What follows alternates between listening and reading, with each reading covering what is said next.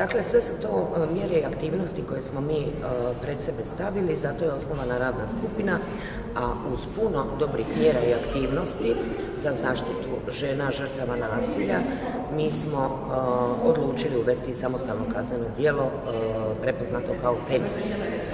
Zašto smo ga odlučili uvesti? Pa zato što je Istanbulska konvencija koja nas obvezuje i naš ustav koji propisuje ravnopravnost, ali, je, ali propisuje se ravnopravnost kao načelo i cilj koji moramo stremiti i zajamčiti ga.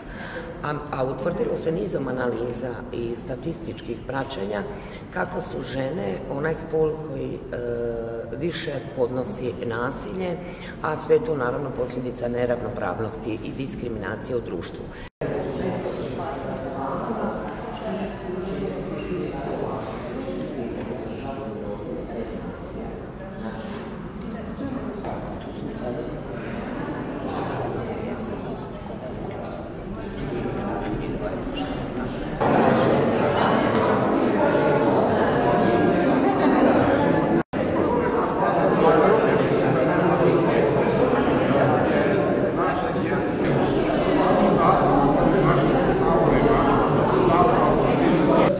Tripalo koji jednim dijelom nastavlja ono što je Niko Tripalo značio i njegovu vezu sa pravnim fakultetom, organizira ovakav tip okupljanja i slična po inicijativi pojedinih članica, pa je onda Zlata Đurđević predložila ovakav okrugli stol i ona će nakon mene preuzeti riječ i koordinirati vaš rad iza toga.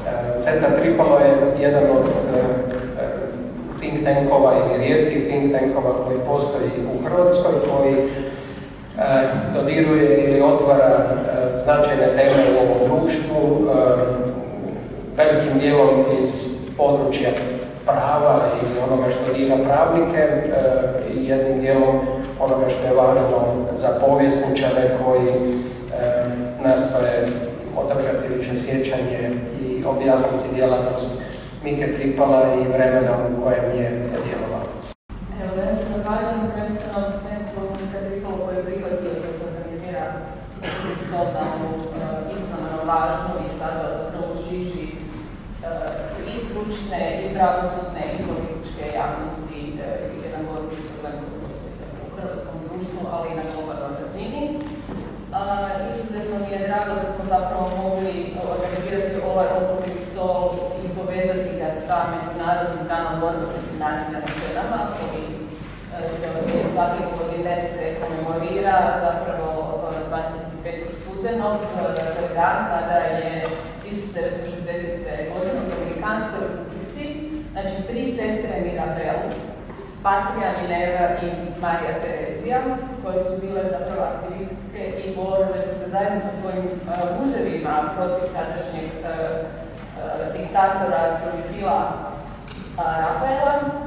Znači, dok su njihovi muževi bili zatvoreni u zatvoru u Dominikanskoj republici, oni su ih posjetiti na povratku sa tog iz tog posjeta su ih zapravo državni službenici napali, svih troje sve tri, uključujući i vozača, su ih prebili smrti, znači ubili su ih i nakon toga su spurvali zapravo taj automobil u provaliju da se ne prepozna i pokušao zapravo sakriti taj zločin.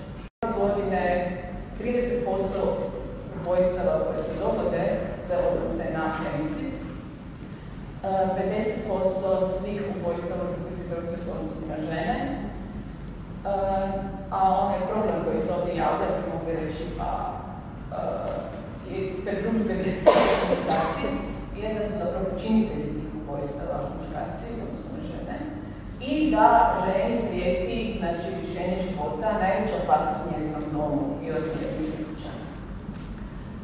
Svakog sata u svijetu pet žene i djevojčice izgubi život u Evo, mislim da je ovo dovoljno, ja neću sada dalje ulaziti bilo kakve podatke s obzirom na renomirane i stručne govornice i govornike koje imamo prisutne. Ja sam izuzetno zahvalna da se odazvali na poziv nikad pripalo i pristali sudjelovati i podijeliti svoje znanje i iskustvo vezano za ovo područje na ovom stolu.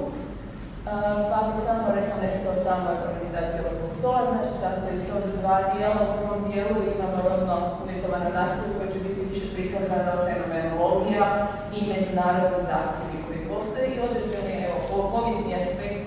Znači nećemo ući još u područje pozitivnog prava, iako e, naravno dopuštam pojedinim e, govornicama da je o tome naravno govori. Imamo kolegicu Bunju.